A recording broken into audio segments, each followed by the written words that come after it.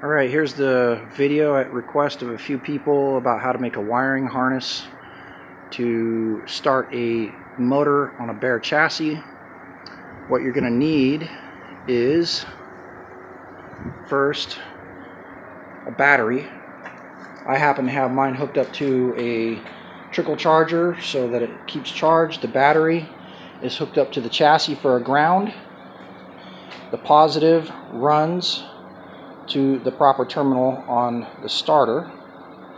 The transmission also has a ground wire here so that it gets good ground through. And basically there's two wires that hook up to the starter solenoid. You need a power wire. This comes from the battery. The power wire runs up to the number 30 spot on the ignition. And this is the starter wire. So we're going to follow these two wires over here.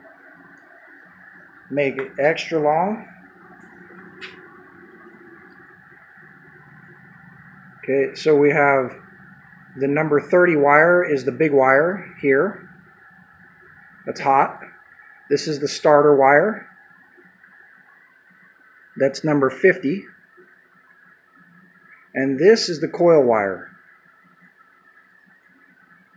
It's number 5415 and the coil wire runs hot to the coil on the positive side.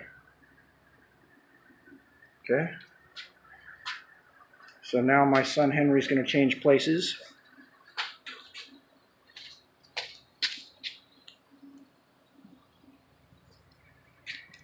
Basically, it works just like the regular VW starter. You have your accessory, uh, accessory uh, position here. That's for the coil on. Okay. Can't leave that on or it'll burn the coil up and it'll burn the points up. So, all right. I don't have any gasoline in there.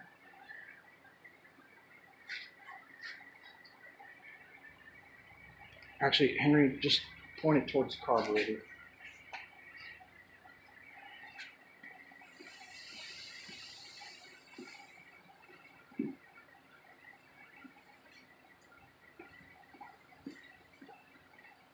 This is how I put gasoline in the carburetor for a temporary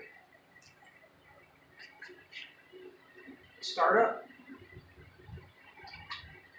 See the hole right here? You can put gasoline in without flooding the carburetor. Just like this.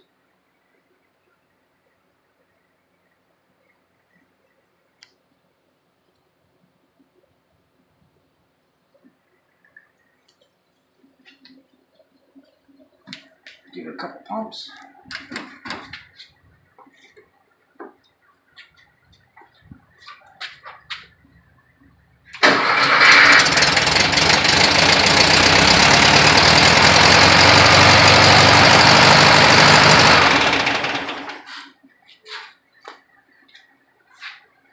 That's basically how that all works.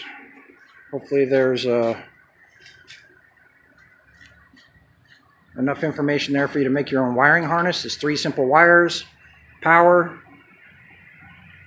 the ignition start wire, and the coil wire. And that's it. Um, if you want to like and subscribe, let me know what you think in the comments. And thanks for the trash truck going by at the end. Perfect.